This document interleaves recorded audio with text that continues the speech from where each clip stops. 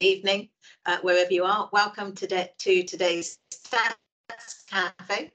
Some of you, like me, may have been a little bit confused as it's actually a Wednesday and not a Monday. Uh, but we moved this week's Stats Cafe to a Wednesday due to uh, holidays and Easter, but we're all here for today. So fantastic to have everyone joining us. And I see more and more people joining as we go on. I didn't want to delay the start because we've got lots to get through today. So, as we all know, it's been just over two years since WHO declared the COVID 19 a pandemic. And unfortunately, it's very much still with us today. Although, fortunately, now we have several vaccines and new treatments, but there still remains the question of just how many people have died as a result of the virus. And we can see on this slide here that the importance of this issue is so apparent today, just from all these different newspaper headlines looking at the topic. Since the beginning of the pandemic, over 6 million COVID 19 deaths have been reported globally. However, recent estimates predict that the global excess deaths may actually be two to four times higher than those officially recorded. There remains debate around these estimates. Being able to ascertain the true impact of COVID 19 on human lives is critical for informing resource allocation and assessing the effectiveness of public health interventions as the pandemic evolves and as it is very much still evolving. However, many countries still lack functioning civil registration and vital statistics systems to provide accurate, complete, and timely data on deaths and causes of deaths Furthermore, the differences in low countries test and report COVID 19 deaths make it very challenging to measure the true loss of life from the pandemic. Demographers, data scientists, and epidemiologists have turned to the estimation of excess mortality to try to understand just how many people have died as a result of COVID 19. And you'll hear more from our first speaker today on what excess mortality is and how it's estimated over the course of the pandemic, we've seen also a range of innovative approaches to estimating excess mortality, from the use of satellite imagery um, of burial sites to complex machine learning models. However, as the pandemic has progressed, we've also seen a rise in mistrust in official data, the rise of armchair epidemiologists, and misinterpretation of COVID 19 statistics, fueling the polarized political narratives of the pandemic. On the positive side, this is also increasing interest in statistics among the general pub and there's an increasing interest in statistics from the general public and it's actually helping to actually change what's been in the past often a negative relationship with numbers. However, data literacy hasn't quite caught up, and that is perhaps one of the most essential weapons that we actually have to fight against COVID misinformation. And we've seen a lot of good and a lot of very bad examples of how data has been communicated over the course of the pandemic. But it often falls to the responsibility of data journalists to help the general public understand the statistics. And that's why we're really also delighted today to have joining with us a data journalist who's going to actually share her insights on how we can engage the public in COVID 19 statistics whilst maintaining trust in data and tackling misinformation. So the objective of the Stats Cafe today is to actually share a snapshot of some of the varied approaches taken by countries and organisations to produce estimates of excess mortality, as well as uh, providing a journalistic insight on best practices on reporting the data. So we'll hear from a representative of WHO from three countries and from a data journalist. There'll be an opportunity for you to ask questions. So as we go along, as usual, please do post any questions in the chat bar. And now it's my pleasure to hand over to Chloe Harvey, who's working on in our civil registration and vital statistics team here at UNESCAP, and she's going to moderate the rest of the session and introduce our great speakers. Thanks very much, Chloe. Over to you. Thank you uh, very much, Rachel, for providing your welcoming remarks. And good morning, good afternoon, and good evening to everyone attending the Stats Cafe today. My name is Chloe Harvey, and I'm um, working with the Population and Social Statistics section um, within the Statistics Division of UNESCAP. And it's a pleasure to be the moderator for today's session. I'm very excited about the fantastic lineup we have um, of speakers today. Before starting, I'd just like to run over a few housekeeping reminders. Um, we are using a new modality for the Stats Cafe where everyone's mics and cameras are automatically turned off to reduce the background noise. Um, this meeting will also be recorded and the video will be made available on the Stats Cafe website by the end of today. Please do feel free to post all of your questions and comments into the chat box and we will come back to them towards the end of the session during the Q&A section. Um, the slides have also been added to the Stats Cafe website, so in case the connection is bad, you can also access the PowerPoint slides from there. So now I'd like to introduce our great speakers for today. Our first speaker will be Mr. Steve McFeely, who is the Director of Data and Analytics at the World Health Organization and is based in Geneva. So thanks for joining us at this early hour, Steve. Um, before joining WHO, Steve was head of statistics and information at UNCTAD. And prior to joining the UN, he was a deputy director general at the Statistics Central Statistics Office in Ireland. Then we have Professor Thomas Moultrie, who will be providing his insight on estimating excess mortality in South Africa. Um, Tom is a professor of demography and director of the Centre for Actuarial Research at the University of Cape Town in South Africa. He is currently chair of the Technical Advisory Group of the UN Interagency, Interagency Group for Statelessness Estimation and has been deeply involved in the development of the system that has tracked excess mortality in near real time throughout the COVID pandemic in South Africa. The next speaker will be Ms. Helen Hoare, who is a design analyst in Stats New Zealand's Population Insights team, deriving and delivering official demographic statistics. Helen has over 10 years of experience at Stats New Zealand and a wide knowledge of demography, including improving methods for life tables, leading population estimates and project projections production, and developing new methods for family and household projections. Then we have Dr. Shubash Shander, who is the head of the Survey Research Centre and Centre for the Burden of Disease Research at the Ministry of Health in Malaysia, Dr. Shubash is responsible for the planning and implementation of national epidemiological surveys and burden of disease studies. Dr. Shubash is a medical doctor with a Master in Public Health and an MBA, and has also been the national focal person for the WHO mortality and excess mortality estimation. And last but by no means least, it's a great pleasure to have Ms. Rukmini Srinivasan as our final speaker of this event. Ms. Rukmini is an independent data journalist based in Chennai, India, and her work focuses on socioeconomic issues, including gender, inequality, health, crime, and politics. She was the first national editor of The Hindu and editor for data and innovation at HuffPost India, and is currently the columnist for Mint and India Spend, and since um, March of 2020, Rukmini has also hosted a pandemic podcast called The Moving Curve, which I would also highly recommend and is available wherever you listen to your podcasts. Um, Rukmini has just published her first book called Whole Numbers and Half Truths What Data Can and Cannot Tell Us About Modern India.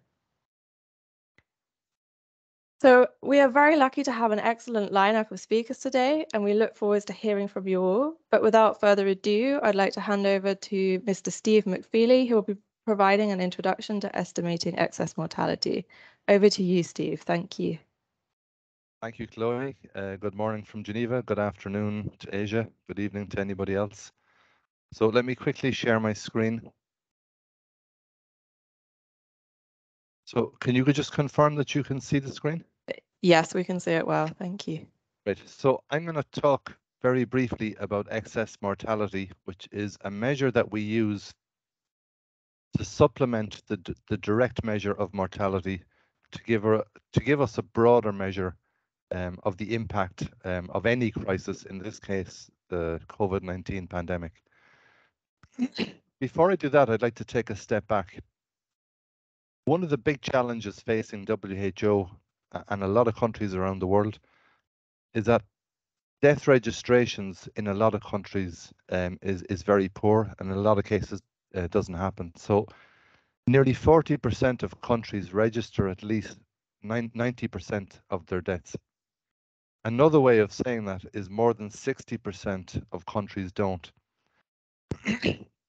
excuse me I'm, I'm actually recovering from covid myself at the moment so i still have a cough So COVID-19 really hit at the Achilles heel um, of WHO statistics in that registrations of death, let alone cause of death, is, is quite a weak statistics. And, and, and a lot of what we have to do globally is estimate those numbers. So you, you can see on the chart on the right, really only 39 countries around the world produce what we would consider high quality cause of death statistics. Uh, another 78 countries produce so-so quality and 77 countries don't produce any data at all. And that's before the, the pandemic crisis um, hit. Now, as Rachel said in her introduction, um, she gave a very good background and context. So currently at the moment, the, official numbers reported to WHO is that 6.2 million people have died directly of COVID. But we know this is a problematic statistic. Um, it's underestimated, but not only is it underestimated, it's it's also problematic for a number of reasons. Um, first of all, it, we've only had this disease for two years, so um, a lot of countries very quickly adopted different definitions, different thresholds when they were trying to assess the impact. Furthermore, a lot of countries changed their definitions on how they assessed COVID mortality during the, the last two years. So even the time series over the last two years isn't consistent within all countries. and for a whole variety of other reasons, from variety of testing access, um, diagnostic capacity that varies very widely across countries. And also we saw that hospitals were overwhelmed during the surges. So a lot of people died outside of the health systems and we don't know um, what they died of. So in short, this is one of the reasons why the numbers that we publish on direct COVID mortality needs to be supplemented uh, with, a, with a stronger measure. So the measure we use is called excess mortality.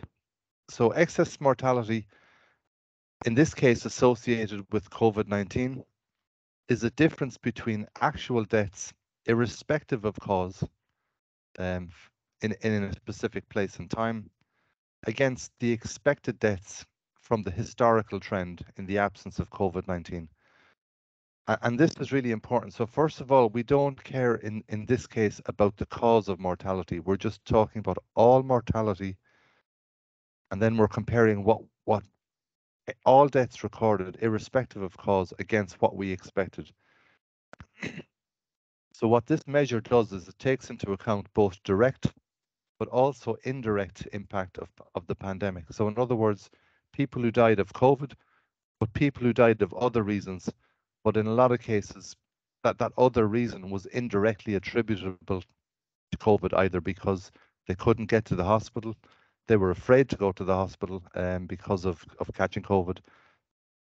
And all of this adds to the to the broader impact there's been some confusion in, in the preparation to our own publication.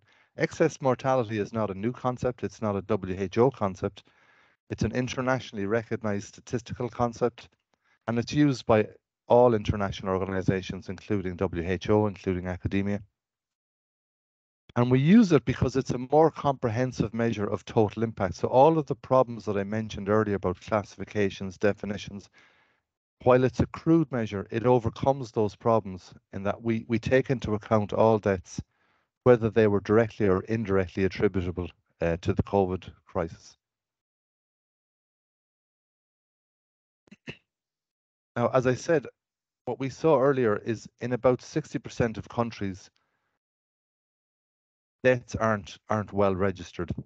So in this map, what we see is when we look at excess mortality or all cause mortality, we see in the darker shaded countries, basically what, what we might call crudely the developed world, the statistics are generally of good quality.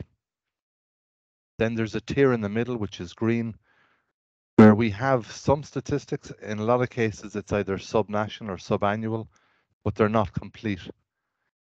And then for a large part of the, the, the world, in particular, and the African continent, we see there's really a paucity of data we use this map um, in our model. So we, we classified countries into three tiers. I should point out this is a statistical classification. It's not a developmental classification. And what this classification really talks about is data availability. Um, again, some countries have got a little bit upset that they were classified in one tier or another. This doesn't say anything about the quality of the data in their country. What it talks about is the availability of that data. So if a country has good quality data, but chooses not to make it available, then they're classified accordingly. Um, and I, I say that deliberately because some countries have argued that they have very good quality data, but they've chosen not to share it with WHO. And that's fine, that's their prerogative, but then we can't use it so that they've been classified accordingly. Now, given the complexity of that, so we, we see there's a large chunk of the world where data are missing. So for some countries, we don't have to model. We can use the statistics that are already available in the country. But for other countries, we have to model um, to get the estimate. So we built and tested over 300 different covariate models.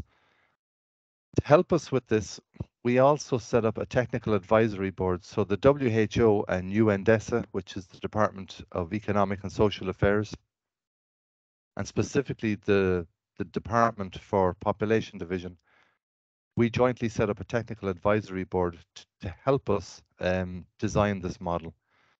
And we have over 60 world-class demographers, epidemiologists, data and social scientists, statisticians from a wide range of backgrounds, geographies. So this is a global group and they've helped us uh, and guided us to, to develop this very complex model. I should stress this is a globally standardized method but it takes into account country specificities. So it, it's not a one model fits all. It's a one broad model, but it takes into account a lot of very country specific covariates. So it takes into consideration size, climate, um, population density, the different measures that were taken, the containment measures during pandemic. So it, it's a very, very sophisticated model. And we've now reduced or we're about to launch estimates on excess deaths at global, regional, national level for the 24 months covering January 2020 right through to December 2021, disaggregated by sex and age. The statisticians among you will immediately criticize this chart, but I've done this deliberately. So you see there's no, the the X and Y axis are not properly labeled. And in fact, I've actually perturbed the data slightly because we haven't published our estimates yet. But what I do want to show, broadly speaking, is the scale. So direct COVID on the left are the the the, the, the 5.4 um, that in, in the first two years that, that we've talked about. The economists in IHME have already published their estimates um, for excess mortality we will be publishing ours next week, and you can see ballpark where our estimate will be. Um, as I said, I've distorted the numbers slightly, um, so you'll get the proper numbers next week. But it, it gives you um, roughly the kind of the magnitude or the scale and difference between direct COVID and direct plus indirect COVID mortality. And then finally, just to wrap up, so why why is this important? Well, there's a number of reasons. First of all, WHO every year produces global health estimates, or what you might call global mortality estimates, which looks at overall mortality by cause specific burden. We can't produce those estimates anymore unless we have a, a number uh, of for excess mortality.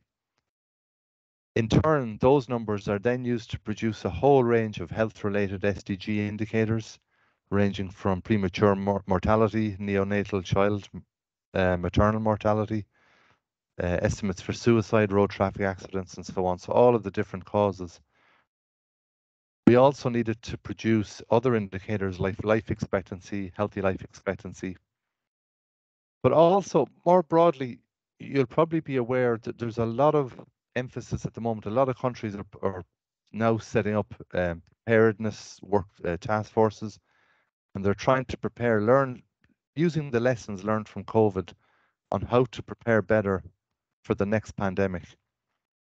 But one, one of the challenges with preparedness is you need some measures of success or failure. So uh, how do you assess whether you're prepared or not? So what indicators are, are you going to assess yourself against? And in fact, what we see is direct mortality is, is one measure, but in fact, it's a limited measure. So again, there's no point in really talking about preparedness if you don't have excess mortality statistics because they're the best measure of assessing whether you are prepared or not. And then finally, we also need these statistics to produce global and regional population estimates.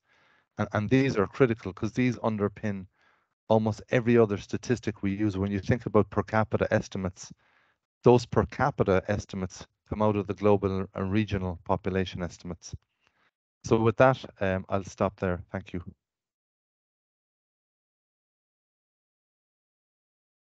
Uh, thank you very much, Steve. And sorry to hear that you've um, had COVID. I hope you make a quick recovery.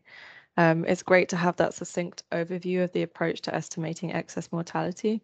Um, we look forward to the release of the WHO estimates next week. So if you have any questions for Steve that you would like to ask, please do post in the chat and we will ask them during the Q&A session at the end. And now I would like to invite our next speaker, Professor Tom Moultrie, to take the floor. Tom will be providing a technical insight into estimating excess mortality in South Africa. Over to you, Tom. Thank you very much, Chloe, and um, thank you very much to Stephen McFeely, um, who's provided a very useful background and overview to what I'm going to be talking about um, today, um, which is, if you notice on the map, which um, Stephen produced, South Africa is one of the few countries in the developing world which has been able to produce estimates of excess mortality in, South, uh, in, re, in near real time. And so I want to give us some idea as to how and the processes and the data which have been used to actually generate those estimates and so that's what my, the subject of my talk is this morning. I'm going to start with a little bit of history and background um, because this speaks to the data which we have available to us in South Africa to track mortality in near real time, and will also point to some of the deficiencies in those data. So vital registration of births and deaths and marriages, vital statistics, began before the start of the 20th century. Uh, it was codified into legislation in 1923, but because of South Africa's rather unique political and economic and social history, um, African South Africans, the vast majority of the population, their registration of those events was voluntary, particularly in rural areas although the process of extending vital registration mandatorily to everyone was extended to all population groups only in 1963. In the 1950s, South Africa um, started building a national population register. Originally, that was seeded from the uh, data collected in the 1951 South African census um, and was then updated through the registered births and deaths um, under the vital registration system. And so we see how we have a national population register, which is uh, continually updated with births and deaths from the civil and vital statistics registration system. Again, because of our history, um, African South Africans were excluded from the National Population Register and only included after 1986. Um, but there, there has been a, ma a, massive process of rebuilding that population register, not least with our transition to, to democracy in 1994, which is, saw the mass registration of almost all South Africans and the inclusion of, of all South Africans on that national population register. Both the vital registration and uh, civil statistics system are, and the National Population Register are overseen by our Department of Home Affairs, our internal ministry. However, the National Statistical Office in South Africa, Statistics South Africa, is mandated to produce um, the official records of vital statistics, the births and deaths um, from the civil registration vital statistics system. And it's up to them to include the analysis of the cause of death data. And one of the things Stephen McFeely mentioned was often the absence of detailed cause of death data, which is something which we experience in South Africa as well. So when someone dies in South Africa, there's a standard official three-page death notification form, which is divided into two parts. The first part, which we call Part A, is one page long and contains just the basic information on the on the person who died, their age, their sex, where they live, where they um, um, where they died, um, their occupation, if they died during childbirth, etc. The second part, which is two pages long, is the detailed med medical certification of the causes leading up to those uh, deaths. And that part is sealed by the certifying medical officer and is not opened again until the information is processed by Stats South Africa when they do the analysis of the cause of death data. So the family of the deceased takes that death notification form to the Department of Home Affairs, who captures only some of the information on Part A in real time, sufficient to enable them to issue a short form death certificate with no cause of death attached to it other than whether the death was due to natural or unnatural causes and allows them to issue a permit for burial and cremation.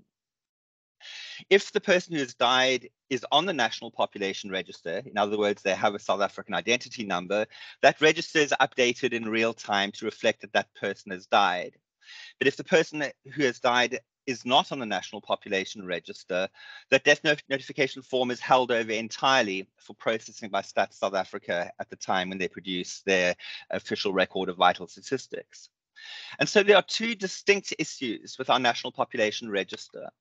The first is that not all deaths are notified at all to our Department of Home Affairs. That's something which um, Stephen McFeely mentioned as well. There's a problem of incompleteness of our civil registration system. And secondly, the deaths of those without South African ID numbers are not on the National Population Register. However, through a data sharing agreement, um, the South African Medical Research Council um, is able to receive each Tuesday a file of the incremental deletions from the National Population Register in respect to the deaths notified to the Home Affairs Department in the Im immediately preceding EPI week. Our EPI weeks run from Sunday through to a Saturday. And what we receive is the decedent's ID number, their date of birth, their date of death, sex, the office, the, na the, the, name of the office where the notification was given, and whether the death was from natural or unnatural causes. And what we then need to do is we need to adjust those data for three different things. The first is that if we get data on a Tuesday in respect to deaths up until the immediately preceding Saturday, someone who died on the Saturday might not yet have got to the to the Home Affairs Office to report the death um, in time for the Tuesday run. And so we need to adjust for the deaths which have um, occurred in the immediately preceding week, um, which we often need to allow for delay, further delayed registration owing to public holidays in that week. In this last week, for example, we had a national public holiday from Friday until um, this last Monday. The second issue is that we need to allow for the deaths notified to the Department of Home Affairs, but which are not on the National Population Register. These might be non-South Africans, for example, or there might be the deaths of children whose births haven't been registered. We cannot delete someone from our National Population Register unless they've been placed on the Population Register. Um, and so we need to allow for the deaths which are notified, which are not on the National Population Register. Um, but we can only use information um, which is then collated by Stats South Africa, which is released two to three years after the fact, to try and build a picture of what the extent of those death those um, non-NPR um, deaths are.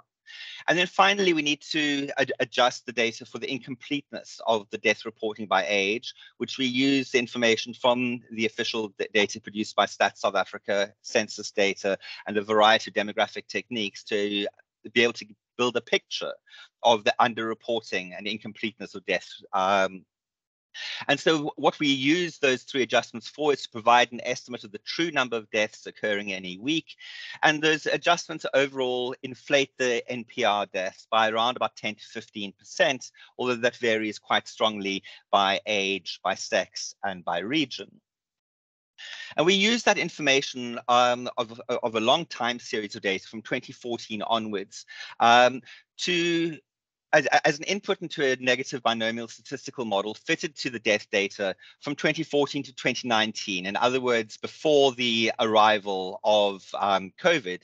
And we use this trend of the weekly number of deaths, this is the total number of deaths from natural causes in South Africa at all ages, um, from 2014 to 2019 to build a picture, a model of what we think is going to happen in the future years from 2020, 21, and 2022, um, which includes includes a time trend uh, parameter, which um, is designed to um, accommodate opposing effects of population growth, which would lead to more deaths, all other things being equal, and declining mortality, which is um, a factor of reducing HIV mortality in the country. And so the, the blue line from 2020 onwards here represents our extrapolation from the past time series. The gray series there represents our confidence intervals around those estimates. But obviously, as we go further and further into this epidemic, pandemic and we, are now extrapolating through to 2022, there are going to be issues insofar as we are increasingly uncertain as to whether the historical time trend in mortality might or might not be accurate. And that's something which we need to endlessly consider. When we compare those estimated um, expected number of deaths, which is this orange line running down the bottom here, with our reported number of deaths every week from our National Population Register adjusted, this gives us our estimates of the, the, the true number of deaths occurring every week. We can see that there are four distinct waves of COVID mortality. And it's, you know, in um, early January 2021, those deaths were around about two and a half to three times higher in that week than we would have expected. Um, you know, based on the data from 2014 to 2019, and the gap between the um, the baseline and the observed number of deaths is their measure of excess deaths, which Stephen referred to. We can also present these data by means of what we call a p-score, which is, a very simple measure. It's a um, it's the measure of the proportion by which the, the, observed deaths exceed the expected deaths. Showing here, this is data through to last um, Saturday, 10 days ago. Um, we have the data for the nine South African provinces and our natural deaths. And each vertical line here represents 100% increase in the mortality. So if we look at KwaZulu-Natal in January 2021, the, the mortality in that week was around about 300% of what we would have expected, or four times higher. There were four times more deaths in KwaZulu-Natal in early January 2021 than we would have expected, while nationally the number of deaths was um, about 200%, three times that which had been expected um, based on the historical data which we had. If we compare our officially reported deaths, this is those notified by our Department of Home Affairs um, and our Department of Health, with our measures of excess deaths, we can see that for South Africa as a whole, the number of um, excess deaths is around about three times higher than the number of reported deaths, even though the pattern seems to show a very similar um, pattern in terms of the waves of the epidemic. But we also see significant differences between provinces. The Western Cape has a particularly good data, health data infrastructure system. And so there's a very good correspondence between their reported deaths in blue and the excess deaths in red, whereas other provinces like Limpopo, the reported deaths are almost negligible compared to what we have um, observed. And in the case of Mpumalanga and the Northern Cape, they've be recently been through some serious data validation and verification exercises where they've been reporting a whole lot of deaths which um, probably occurred much further back in time, um, but which are only being notified now. And so we've been able to build a very good picture of the extent of um, COVID mortality in the country. As Stephen said, we don't know all these deaths are COVID, but given that the excess deaths tends to fall very low in between waves, we think that the vast majority, probably 85 to 95% of these excess deaths are COVID, and the rest are collateral um, deaths associated with the overburdening of our health system. So to sum up, um, and this is my final slide, what are the ingredients for a successful near real-time mortality monitoring system in the developing world?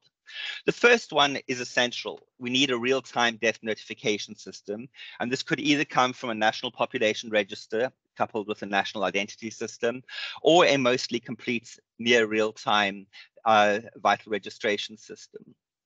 It is absolutely essential to have a detailed understanding of the limitations, the incompleteness, the deficiencies of those systems, who is likely to be on the National Population Register, or what are the levels of incompleteness in our civil registration system. And we need to be able to get that information in near real time, governed by a data sharing protocol. Desirably, we require political will and high level support in order to be able to produce these numbers. In South Africa, we've been able to utilize the timeliness of the National Population Register, which is updated in real time by our Home Affairs, in conjunction with a deep historical understanding of completeness, which we derive from our civil registration vital statistics system, which for deaths is somewhere in the order of 90% complete, to build a hybrid system which allows us to track um, excess mortality in a developing country in near real time. And we are one of the few countries to be able to do that. However, that last point when I talked about the desirable as ingredients. Um, in South Africa, our ability to produce these near real-time estimates of excess mortality has been achieved despite the barriers placed in our path. The obstruction, obfuscation, indifference, delay from our, our various government ministries. There's been an unwillingness to accept um, and to endorse our estimates of excess mortality with the National Department of Health choosing by and large to emphasize their own reported numbers, a third of what we are producing but despite those barriers, those obstructions, those obfuscations, often some governmental indifference and the delays in getting um, certain crucial data, we have not been able to get information on the vaccination status of the deaths, for example, because of, of um, obstruction and delay from the, our Department of Health, um, who will not provide us with those data, which would be really useful to understand the impact of vaccination on our excess mortality. But despite that, we have been able to achieve something which very few other countries in the developing world have managed to achieve. Thank you very much, Chloe. Thank you very much, Tom. Um, it's also great to see how civil registration and the National Population Register play a significant role in estimating excess mortality in South Africa, and also the importance of accounting for um, incompleteness in registration data. Um, so now I would like to invite our next speaker, Ms. Helen Hoare, to take the floor. Helen will be talking about the mortality deficit in New Zealand throughout the COVID-19 pandemic, um, which is something particularly fascinating as whilst most countries globally were experiencing an excess of deaths during the pandemic, New Zealand, among a small handful of other countries, actually, actually experienced a mortality deficit. So over to you, Helen, to tell us more. Thank you. Thank you, Chloe. Good morning, good afternoon, and a good evening, everyone. Um, thanks for the opportunity for me to present today um, about the mortality um, in New Zealand through COVID pandemic. Um, it's been quite sad to um, listen to the uh, the other uh, countries that have been um, experienced very high excess mortality over the pandemic. I guess I will show you a, a slightly different picture from New Zealand. Um, that we are actually ex, um, experiencing the opposite of um, mortality through the pandemic. So just a quick overview. Um, I'll have a quick introduction of the New Zealand's death registrations, and then I'll talk a bit more on, on the impact on the New Zealand deaths due to the pandemic um, using their statistics and visual tools. So death registrations in New Zealand um, um, can be regarded as complete and they are registered in a very timely manner. Um, about 99% of the death registrations um, about the deaths are registered within one month after they occurred. And only about one in 1,000 deaths will be registered after three months. So I guess we are very lucky that we've got a very timely and uh, incomplete um, death registrations that we can use um, to analysis our death mortality, our death, um, our, our, mortality system um, using direct um, estimates. Um, we New Zealand, Stats New Zealand usually publish quarterly death um, data six six weeks after the reference quarters. but since the pandemic starts, there are increasing demand for the death publications. So we have um, um, established a COVID portal, which published more timely statistic, statistics, not just this data, but also other measures. Um, um, the DASE data will be published weekly, and they will be published about two weeks after the reference week. Um, the cost of this data will also be collected, not by us, but by the Ministry of Health. Um, so um, the COVID-19 deaths happened in New Zealand um, are minimized due to quick response of New Zealand, uh, hard and early response and for the New Zealand government. The first New Zealand communique has started in on 28th of February 2020. You can see from the two years um, time, New Zealand only had 62 deaths um, due to COVID-19 of a population of 5.1 million. Um, however, the pandemic has been evolving since the start of the Omicron outbreak. um, the case numbers in New Zealand has been shooting up. Um, however, um, and we have changed the death reporting and reconciliation, the death tally um, in March 2022. Um, this results in a um, total of 570 days um, from on 18th of April 2022. Um, but to be noted, because of the changing of this, now this discount includes all cases who died within 28 days of, of being reported as a COVID-19 case. So some of the case, the deaths um, are died with the with COVID rather than died due to COVID. Um, so um, let's have a look of the deaths by all causes. This is the COVID-19 data portal that um, we mentioned earlier that we have established after the pandemic starts. Um, the, all, the weekly deaths has shown a, clear seasonal impact of um, New Zealand days, like many other countries, that we have more days in the winter time um, than summer times. Um, the weekly, uh,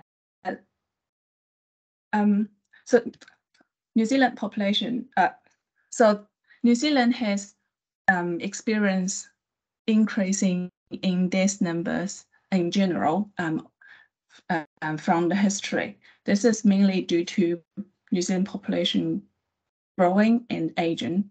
Um, between 2011 and 2021, the New Zealand population has grown by 16%, um, while the 65 population has grown by um, 39%, while the 85 population has grown by 28%.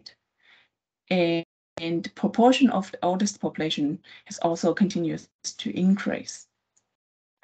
Um, due to the increasing of the older population, we are expecting some excess deaths um, so from the quarterly death counts, um, you can see we have experienced a, a general trend of increasing deaths over time with the seasonal effects. Um, however, in however in 29 and 2020 and September quarter, we have not seen any winter peaks, um, which uh, due to the COVID-19 um, responses in New Zealand, which includes um, border controls, um, hygiene advice on hygiene, social distancing, um, and mask wearing, and all sorts. These um, these COVID responses have not only reduced, minimized the number of COVID-19 deaths, but also has an impact on the total cost of deaths. Um, similarly, looking at the crude um, death rates, um, uh, we do not see the winter peaks of 2020. Um, and 2021 also shows a relatively low rates, um, death rates compared to historical. Um, the death numbers will also be impacted by, by the age and the sex distribution of the of the population. So we've also looked at the annual standardized death rates. Um, uh, in this graph, the standardized population we used was the mean year population ended December 1961.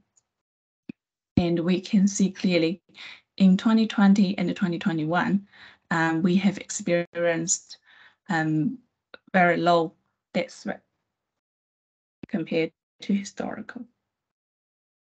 These are all evidence that New Zealand are experiencing a mortality deficit during the COVID period. Um, so globally, many organizations have been um, working hard on developing um, method, new method to um, measure excess mortality. Um, and the Human Mortality Database has done a project which visualize these short-term mortality fluctuations. And they use weekly discounts or death rates um, from 38 countries and um, have made a tool to visualizing how these deaths in death rates are tra uh, tracking over the period. So this is uh, what the visualization tool looks like. Um, so here they have um, the blue line indicates the reference level of the um, of the this data. Um, here in New Zealand, I've chosen 2017 to 2019. Um, it's a three-year period which smooths away um, the fluctuations of the deaths. And then the type year here is represented by the black line. And um, in New Zealand, I've chosen 2020 as the comparison. And the differences between the blue and the black lines um, indicates the mortality deficit or excess mortality, where excess mortality is um, represented in orange and then mortality deficit in blue. So um, on the left is the days counts. Um, and then on the on the right is shows the death rates in in 2020, um, which clearly shows that New Zealand has experienced mortality deficit, especially through the autumn to winter times. Um, um, and then um, um, age-specific death rates will show a more detailed picture of um, the deaths happened um, through different age groups.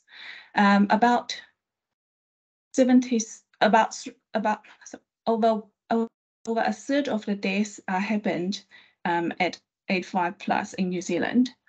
Um, and we're looking at the um, age-specific death rates through the three years over the pandemic. We can see that um, for 85 plus, New Zealand has um, experienced a mortality deficit through 2020 and um, 2021. Although 2021 has slightly, the death has slightly increased, but it's due mostly um, experiencing mortality deficit.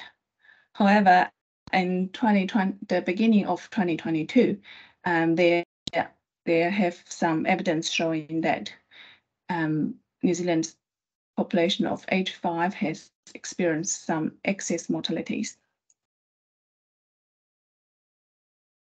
To summarize, um, so um, we have consistent findings from um, various direct uh, mortality indicators that the mortality deficit, we have experienced mortality deficit in 2020 and 2021. Um, and might be some excess mortality in early 2022, but whether the trend is going to continue or um, or not, um, and whether these excess mortality are caused by COVID, um, we will need to wait and see. Um, the analysis of um, mortality needs to include death rates and the preferable age-specific rates, which gives a more um, clear picture of what's happening um, exactly. And the timely death statistics will be ongoing demand um, and be useful for any mortality analysis. Thanks. Uh, thank you very much, Helen, for um, presenting the experience of New Zealand in estimating excess mortality. Um, it was really interesting to see just how New Zealand, um, how the reduced mortality during COVID-19 was at a contrast to um, the international experience of excess mortality. Um, now I would like to invite our next speaker, Dr. Subhash Chanda, uh, to take the floor um, to talk about estimating excess mortality in Malaysia. Dr. Subhash, over to you. Thank you. Thank you, Chloe, uh, and good afternoon, Chloe, and thank you to UNESCAP for this uh, opportunity for Malaysia to share our experience in estimating uh, excess mortality. Give me a second for me to share my presentation.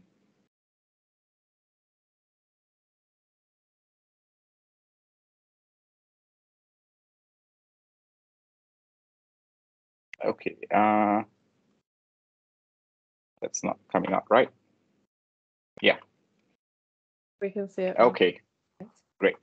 So uh, thank you again, uh, and very good morning, afternoon, and evening, everyone. Uh, so I'll be ex ex try to give a brief overview of how Malaysia we did it in estimating excess mortality during this COVID-19 pandemic. So as been explained by the earlier speakers, uh, excess mortality is actually quite relatively a simpler, a simple approach whereby it's just observed over expected. And here locally, what we have done is we have taken the observed number of deaths, which is actually the actual reported number of deaths, the ones that we could get as quick as possible. And we compare this with the expected number of deaths. This is the forecast based on five-year historical data that was available, and we use this as the expected number of deaths. So in Malaysian situation here, we have the we are federalized. We have an act which actually requires everyone to register all deaths with the National Registration Department.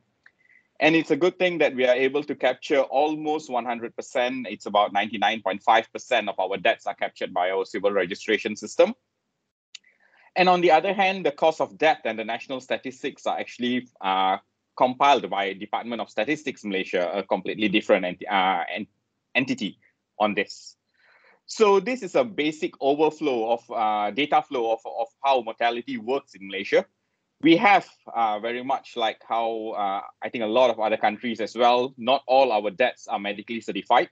We have deaths that occur in the hospital and deaths that occur outside our health facilities. So for deaths that are medically certified that, that occur in the hospital, all this information is also sent to the Ministry of Health. It is all collated in the Health Information Center in the Ministry of Health. While deaths that occur outside, uh, and including the ones in the hospital, all of this, the, an informant who's usually the next of kin is required to register these deaths with the National Registration Department. Now, it is by law that these registrations uh, to the in, this information to National Registration Department has to occur within three months of the deaths. And on the other hand, the Health Information Center collects from all the hospitals, which includes public and private hospitals here in Malaysia. And it takes about two months for them to get quite a relatively complete data report on this. So uh, the deaths in the hospital account for about 55% of all the deaths in Malaysia, while the deaths outside the facilities are about 45%. So quite a significant amount do not have a cause of death.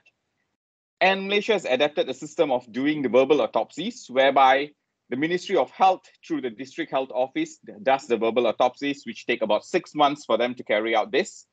before all this information is sent to the Department of Statistics, where data cleaning is done, where uh, data harmonization and, and the final results, uh, the final debt statistics are actually published, it takes up to eight months for, for this to for Malaysia to produce the results. Now, this is relatively good as we are able to release our the cost of debt statistics within a year uh, of the preceding year. But when it came to determining the excess mortality, we had to make a choice here whereby excess mortality is relatively time sensitive. We didn't want to wait that long before we got our results. We knew that the Department of Stats does a lot of data cleaning and the data would be better. And this would actually be the official source of data, but there was also data limitation and delays in for us to get this data. So instead, we had chosen to move to estimate our excess mortality based on two separate databases which is based on the deaths that are all deaths that are registered with the National Registration Department. Again, like how I said, because our coverage is good, this is something that we could uh, proceed with. And uh, with also, we, we, were looking at the cost of debt of, of all this excess mortality, which we were taking from the Health Information Center. So we had to collate data from two different sources here. And again, I think as how uh, Thomas had uh, explained earlier, I think that a lot of this comes from understanding the data flow, the data, how data works, and the pros and cons, the advantages and disadvantages that work within one's health system. And I think nationally, once you are here, you tend to know how best it works for each and every country. So for expected mortality, on the other hand, we use data from March 2015, uh, and we use that as a training data up to August 2019 with six months period of a validation period to pick which was the best model to utilize. We looked at it in two different models, the ARIMA model and also the Prophet model. These are both time series forecasting. Basically, we're just forecasting further ahead what uh, historical data.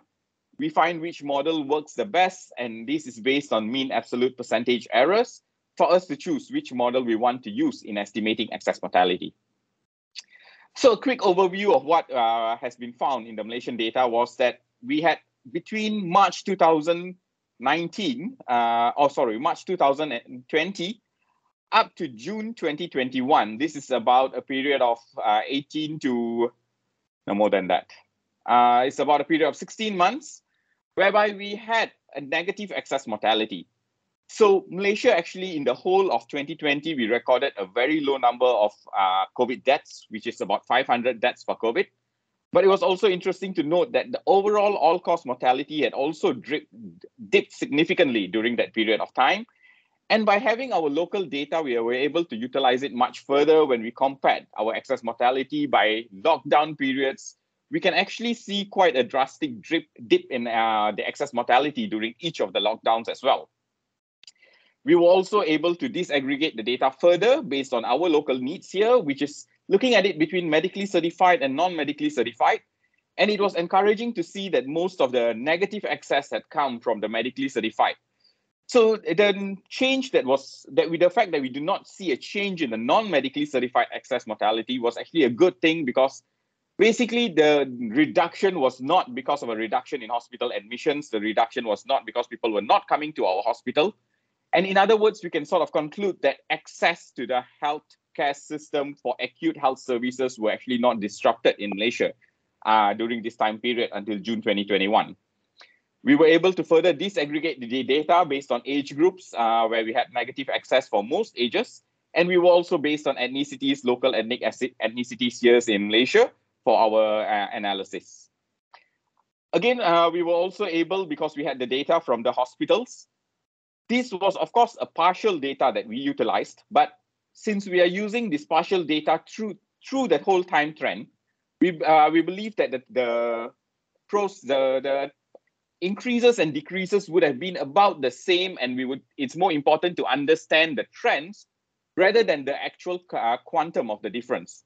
So it was quite encouraging for us to find that it was the NCDs such as cardiovascular disease and respiratory diseases that actually had a dip, uh, we attribute this to probably lifestyle changes due to the COVID pandemic, where people were more at home. And also, there was a significant drop seen in respiratory infections, probably due to all the physical distancing, mask wearing, and all the other effects of the pandemic. So, uh, we were in Malaysia, we uh, adapted a way where we had a very good working relationship with WHO. It was a huge thanks to them.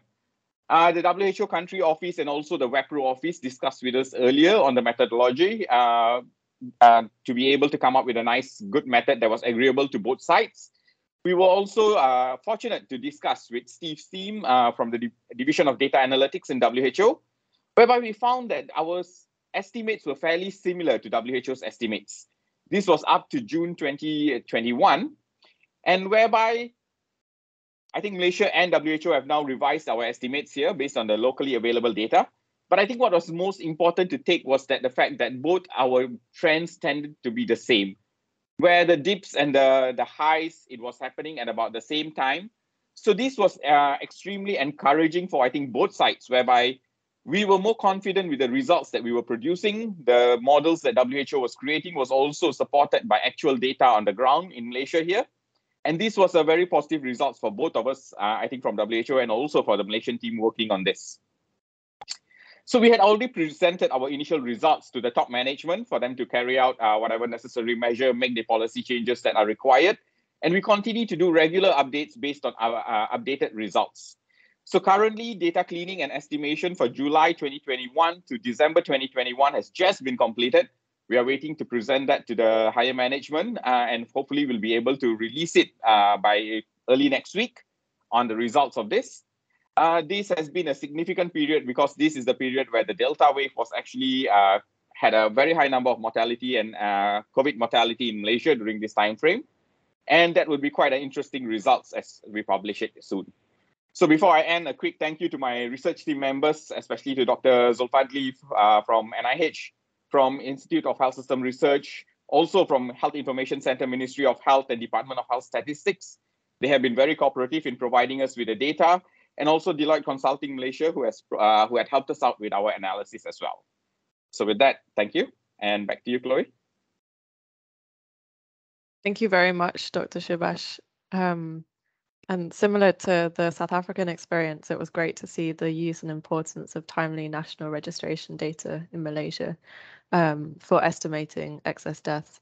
Um, I was also interested to see the mortality rate in Malaysia disaggregated by age um, in those graphs on one of the last slides, um, and how in the 0 to 14 years age group, the forecasted mortality rate had actually declined over the course, course of the pandemic. Um, and I actually have a question to ask you later. Hopefully we have time.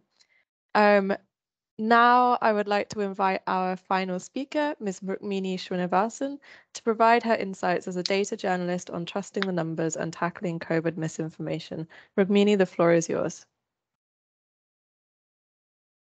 Thanks very much for this, Chloe, and it's been a real pleasure to hear um, all the speakers uh, before me uh, I'd like to talk a little bit about uh, India's experience with um, uh, excess mortality, um, and you know, with a particular focus on the um, communication of this. Now, this hasn't been entirely um, a success story, but I think sharing both aspects of it uh, is important. Um, I'm just confirming that my slides are visible, and I'll I'll go yes, on.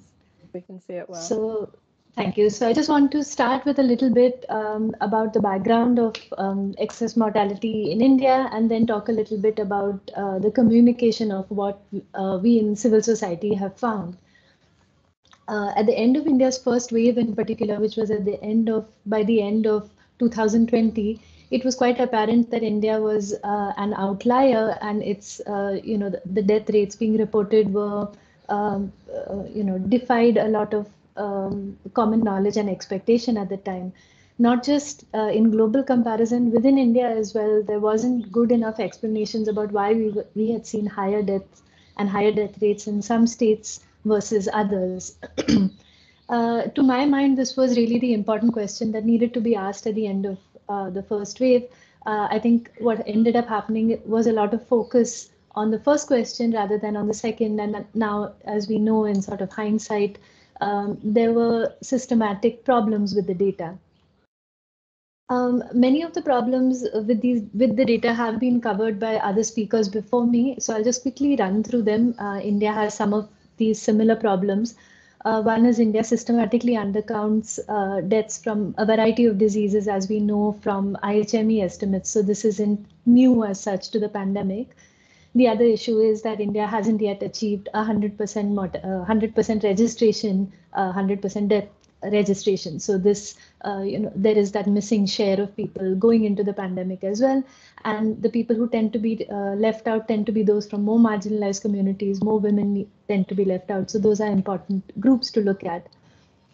Um, there's a huge problem with medical certification of deaths, even relatively uh, developed parts of the country, uh, like Kerala in the south, have extremely low uh, rates of medical certification of deaths. This is just, uh, you know, an administrative issue that has been allowed to go on very long, but uh, could likely have had an important impact on pandemic registration.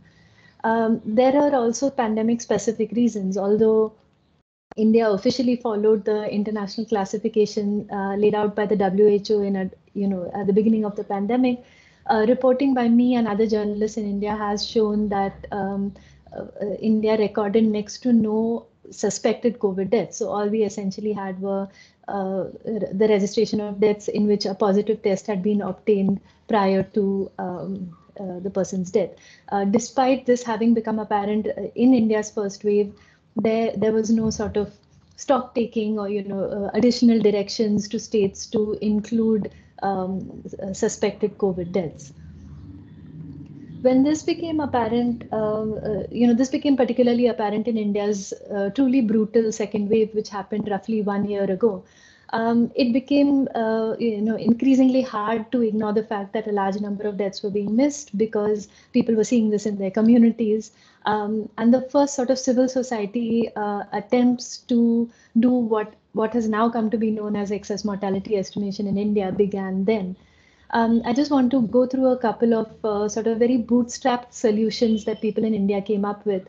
Um, a group of doctors in the southern state of Kerala came together to scan uh, newspapers, which um, typically publish obituaries or uh, uh, news articles about the deaths of uh, people from COVID, and they sort of uh, compiled these in a publicly available spreadsheet and compared these with official tolls. They were able to do this also because the state of Kerala was providing demographic information about um, officially reported COVID deaths, which is not available in many other parts of the country. So this sort of cross-referencing could go on. Of course, there are limits to this work, and when the second wave hit, the numbers, you know, overwhelmed all of India, and uh, even newspapers were no longer able to report all deaths another sort of bootstrapped uh, solution came up by local journalists who, uh, you know, uh, demonstrated a lot of initiative and bravery in uh, in small newsrooms across the country. Uh, they, uh, you know, often stationed themselves in crematoria or in um, graveyards. sometimes counted the number of ambulances coming in and tallied it with official tolls. Sometimes pulled out physical registry registers of these sorts uh, to sort of compare uh, what they were seeing with official tolls. Um, what I and other journalists then began to do was to look at uh, CRS data. Uh, since this data has not been made uh, available to us, journalists, what we um, ended up doing was looking at the information at the level of various states. This was possible because of great improvements in digitization of India's CRS, um, although the level of coverage varies greatly by states, this, this is something that uh, journalists were able to do. Uh, the first city I looked at was the city of Chennai, and this was done by extracting information uh, from death certificates that were uh, uploaded to the local uh, authorities' website.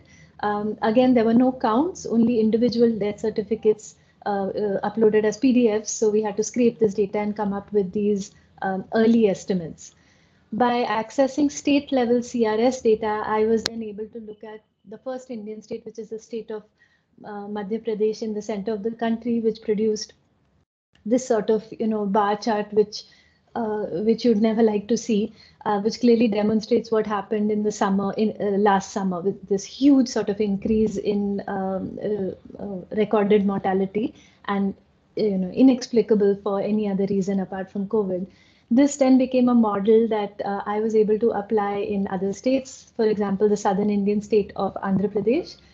This same model was then used by uh, journalists across the country. This really became a collaborative effort. The Indian newspaper, The Hindu, for instance, did the similar exercise for a number of states and was able to show that the level of underreporting varied enormously from states like Kerala in the south, which had a relatively low undercount factor, to uh, states like Madhya Pradesh, which I showed had you know large undercounts. So this really became a sort of domino effect of reporters across the country accessing and reporting on this information.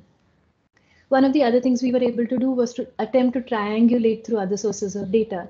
So India's National Health Mission, which covers public health facilities uh, largely in rural areas, over 200,000 of them across the country. It has an administrative uh, uh, data system which uploads information on, say, immunizations and deliveries. I was able to look at this to um, uh, have some sense of, you know, increases in unexplained rural mortality.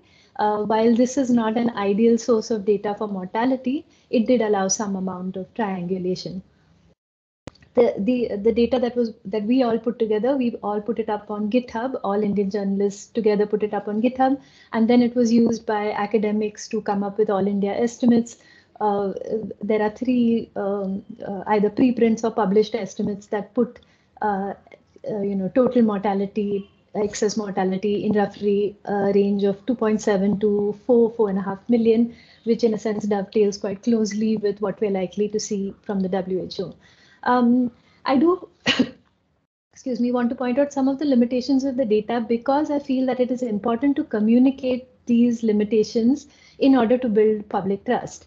And I think um, many of us journalists have been quite upfront about the limitations of this data. We are not in any way calling this complete information, particularly because it is um, journalists like me who are not uh, trained uh, like the people who've spoken before me to perform you know uh, complicated maneuvers on the data. So we made the limitations of the data clear while putting the the numbers out.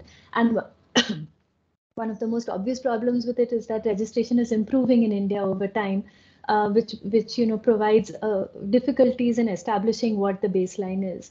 Um, and as I said, our, our, attitude has been largely to make the data public and allow people to uh, draw their own conclusions. I think the lessons, uh, you know, there are important lessons in terms of uh, uh, data and in terms of thinking about this pandemic and future pandemics, particularly for India, which continues to have an enormous uh, difference in administrative and state capacity within regions in India. So what essentially ends up happening is a sort of, in a sense, penalizing of states that do a better job of reporting their data which which uh, provides lessons to journalists like me to rethink how we report on inter-regional comparisons. but I do want to focus a little on this last part. Um, a lot of our work has been met with a lot of um, acceptance, trust, and um, um you know thankfulness because I think it's hard to underestimate just how brutal India's uh, second wave was. Uh, there, you know, you'd be hard pressed to find an Indian family who doesn't know someone who died in this in the second wave. This really was uh, a large number of excess deaths, and in a sense, our work did provide a validation and some amount of closure to people who truly were seeking this in numbers, if not elsewhere. But um, just as in the rest of the world, India, uh, you know, suffers from an acute climate of polarization as well. And um, uh, I, I would like to think about ways in which we can ensure that this important work across the world does not become victim to this uh, climate of polarization. So, you know, what are the ways we can make sure that um, uh, that we go beyond sort of bubbles in this? Uh, can more data be put up on GitHub? Should we should we be doing more outreach in terms of making the methodology clear? And you know, taking on board um, objections from from the other side on things like improvements in registration. Um, I also think these these lessons apply just as much to journalist communication with the government as well, because we have this has become uh, extremely adversarial in India at the moment, and one really wishes it wasn't the case because um, uh, you know there is a lot that we can both sides in a sense can be drawing from each other in terms of coming closer to what uh, what would be a more accurate number of uh, deaths. And also in terms of coming closer to some sort of national closure around what happened a year ago. And of course it brings me back to um, uh, the point made by mr MacFeely in particular which is pre preparedness can only come from a full understanding of what happened, a good accounting of it, and then uh, building on it. So um, these are just some of the lessons that we, uh, you know, uh, are having to learn the hard way right now in India. As you would know, there's also a lot of debate about the upcoming WHO numbers. Uh, but uh, just as there are lessons to be learned for future pandemics, I think there are also lessons to be learned about um, bridging divides and building greater trust. Thank you. Thank you very much, Rukmini. That was great. Um, it was great to hear your journalistic insights on excess mortality. Um, and it was also really interesting to hear about the innovative ways that the community um, has been involved in using alternative data sources to estimate just how many people died. Um, and I especially agree with your comment that it's important to explain to the general public about the limitations of data um, so that we can ensure that we instill trust in, in these statistics. So thank you. Um, so this brings us now to the Q&A part of the Stats Cafe. Thank you very much to all of our excellent speakers for your presentations. Um, to our audience, please continue to type any questions in the chat box and please mention the name of the speaker if you wish for it to be directed at somebody in particular. Um, I will start with some of the questions that we received prior to this session during registration, and then I'll go to some of the questions in the chat. Um, so one of the first questions, um, I'm going to direct this to Steve. Um, and the question is, I, think you answered half of this in your presentation, but when will the WHO release its mortality data? And what is the current stage of engagement with the Indian government? Okay, thanks, Chloe. So we'll be publishing our estimates uh, at the end of next week. Um, so not long to wait in terms of engagement with India, I mean, we continue to engage with all member states. Um, I think it's fair to say the Indian government are not happy with our estimates, and that will be reflected um, in the publication. So there, there will be a, an acknowledgement or a, a, note stating that um, the Indian government are not content. But I should just add as well, they are, they are the only uh, country at this point that have raised objections both at the Statistical Commission and with us directly at this point. Thanks, Steve. Um, and before you go, I have another question for you. Um, can we also apply the methods used in estimating excess mortality due to COVID-19 to natural hazards and disasters or other similar emergency situations? Yeah, Exactly. So th this is exactly the same technique that you could use um, for for any large crisis. So um, you know, a hurricane, um, or I guess in the Pacific region, the the tsunamis, anything that really disturbs the kind of normal equilibrium, you, you can use the same methodology. Now, of course, you'd have to develop a different model because the covariates would be different. Um, you know, the, the things that would be important for COVID wouldn't be necessarily the same for say a tsunami. Um, but again, if you had better CRVS data, you wouldn't need to model. So the excess mortality is the right approach. It's really a question of how you get those estimates. Um, obviously, we're only modeling because there's a deficit of data, um, as we've seen in, in countries like in, in, in New Zealand, um, in Malaysia, where the government is already producing those data, then you really don't need to model or rely on models as heavily. Okay, thank you very much for that comprehensive answer, Steve. Um, the next question I will direct to um, Tom. Uh, and it was a question um, how to deal with incompleteness of death registration and misclassification of causes of death in estimating excess deaths. Yeah, thank you very much. I mean, we are fortunate in South Africa um, that our civil registration system is largely complete, by which we mean probably about 90% of all deaths which occur are notified to the authorities.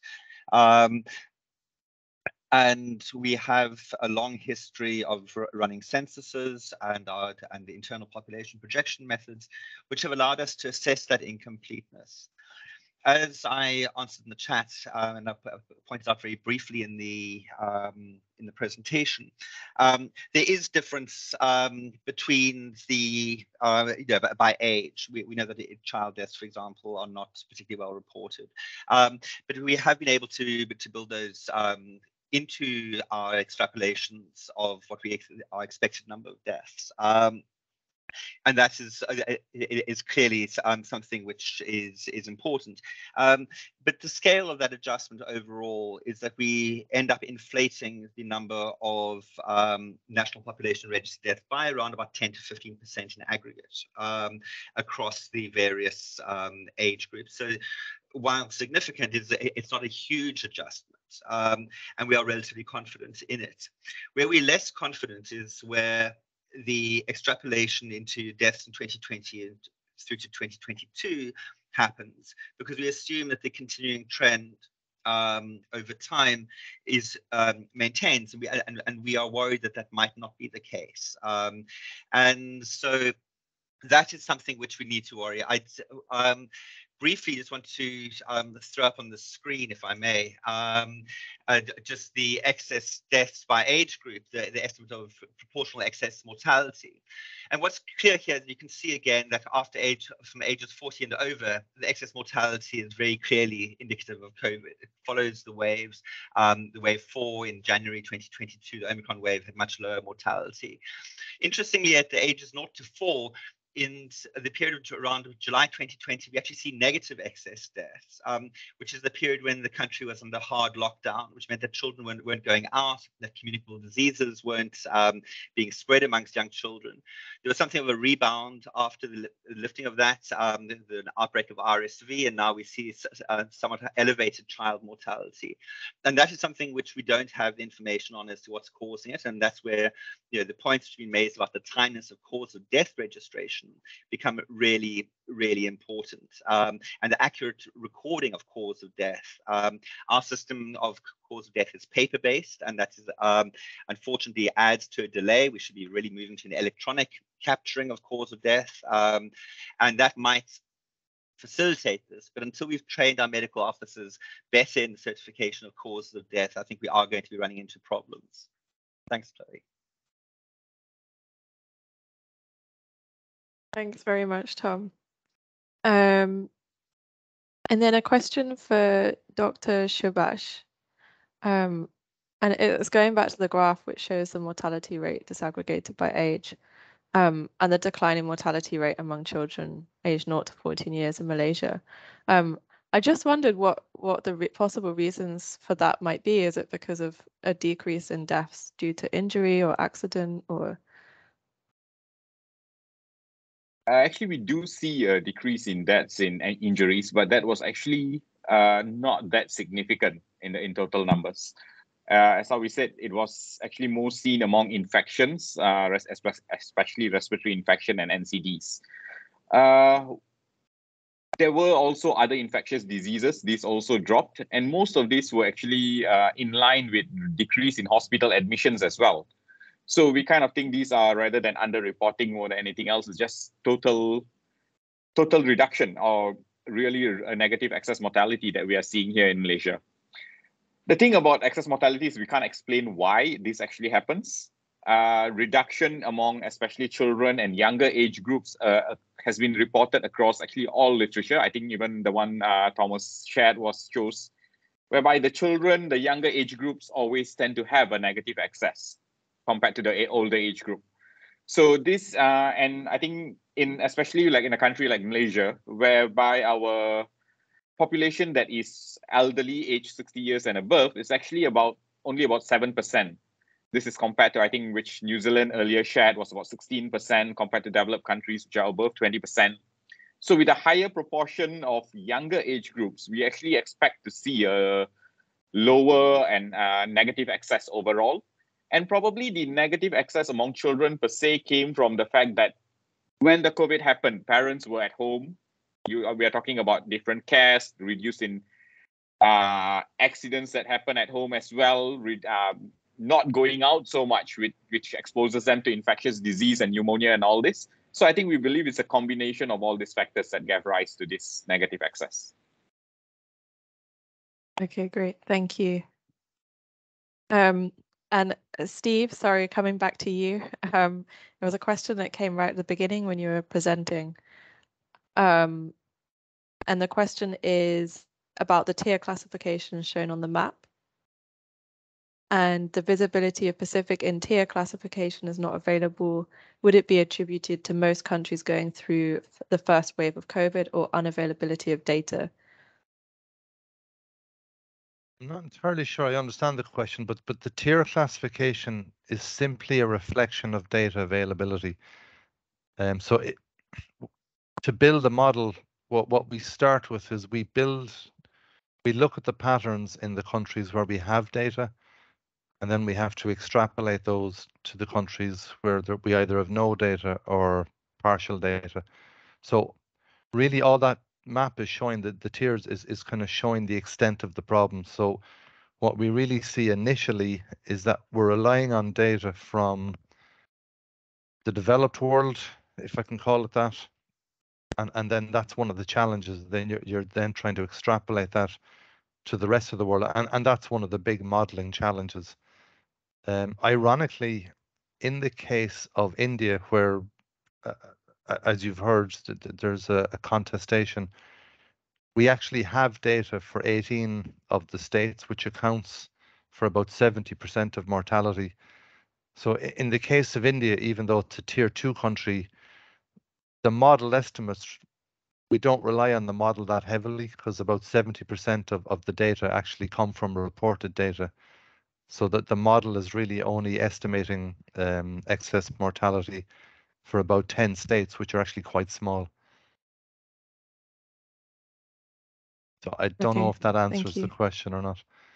Thank you very much. Um, the person who posted that, you can write in the chat if if you would like um, Steve to expand on that. Um, I see some other questions coming up in the chat, but I think that we should probably close the session um, shortly. Um, I don't want to keep you any longer than the allotted time. But if you want, you can continue to post your questions in the chat and hopefully if our speakers um, don't mind and they'll be happy to answer them um, in the chat, that would be fantastic. Um, so I think that's, yeah, as I said, that's I think that's all we have time for today. Um, thank you very much for your interesting questions and to our speakers for your excellent presentations. Um, before we close today's session, I'd just like to briefly wrap up with a few closing remarks. Um, we heard today about the experience of the three countries and the WHO in estimating excess mortality, each taking a slightly different approach to the methodology. And even beyond countries, um, beyond the three countries who presented today, we know that countries have been using other innovative ways to assess the true number of deaths from the pandemic, such as satellite imagery of burial sites or use of obituaries in newspapers, as Rukmini mentioned. But I think one thing that stood out to me and which is pertinent for every country globally is the importance of a strong civil registration and vital statistics system to provide accurate complete and timely data on deaths and causes of death. And there remains a need throughout the Asia Pacific region and beyond for strengthening of civil registration and vital statistics systems to be able to respond um, to future pandemics or crises and to mitigate the human, social, and economic effects. Um, as one of the questions from our audience also highlighted, excess mortality is an extremely useful tool that transcends beyond COVID and also can also be applied um, to other emergency situations such as natural hazards and disasters. Um, the exact number of people who died as a result of COVID-19 may never be accurately as ascertained, but new developments and methodologies and use of new data sources bring us closer to that figure every day. As highlighted by Ms. Rukmini's presentation, the pandemic has also sparked increasing interest in case numbers, mortality data, and trends among the general public, which is fantastic that so many people are now interested in data, and I think it's definitely a positive development. Um, however, I'm sure that we have all encountered at some point over the pandemic a rise in armchair epidemiologists popping up on social media platforms with a tendency to sometimes um, manipulate this data to tell a story that aligns um, with their goals. And this incomplete and incorrect data can muddy the waters and the mistrust in data can risk lives. Um, so I think this really points to the need to improve data literacy and perhaps we'll ha have a role as statisticians, demographers and epidemiologists to encourage a deeper understanding of these statistics and to also think about how we're presenting data and how it can be more user-friendly, yet also reducing the risk for um, misinterpretation. Um, so I think that brings me to the end of today's Stats Cafe. I would like to say a big thank you again to our excellent speakers for such an engaging Q&A session and for your amazing presentations. And thank you to all of those who joined us. The recording of the session will be available later today on the Stats Cafe website and the presentations will also be available there. I believe my colleague has posted the link into the chat. Um, and if I encourage that if you want to keep up to date with all the news on civil registration and vital statistics in the Asia Pacific region, please do sign up to our newsletter and we will share the link to that in the chat. Thank you very much and wishing you a nice rest of the day. Thank you. Thank you. Bye. Thanks all for your engagement.